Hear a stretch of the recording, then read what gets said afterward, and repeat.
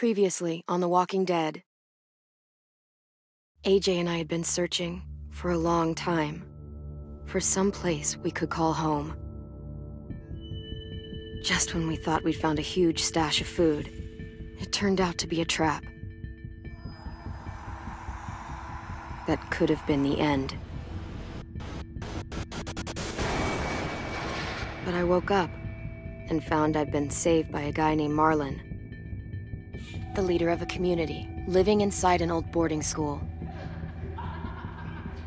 It felt like a chance at having a home, a real one.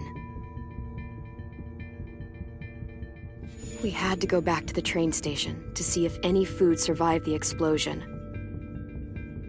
But someone else had the same idea. When AJ distracted him, I shoved him into a pack of walkers. I found Marlon and Brody in the basement that night, arguing about the man we'd seen, and I learned why Brody was so afraid.